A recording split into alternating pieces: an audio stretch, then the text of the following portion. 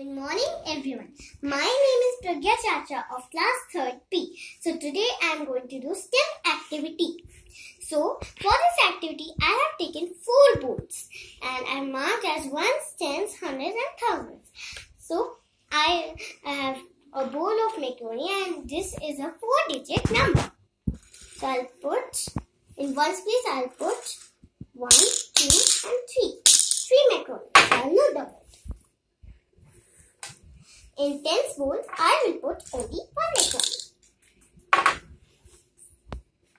In hundreds bowl, I will put nothing because the, uh, the number is zero.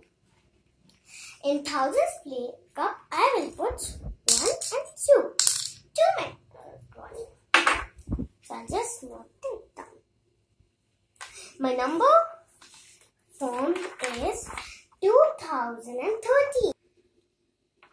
You know for, why this is my favorite number? Because I have born in this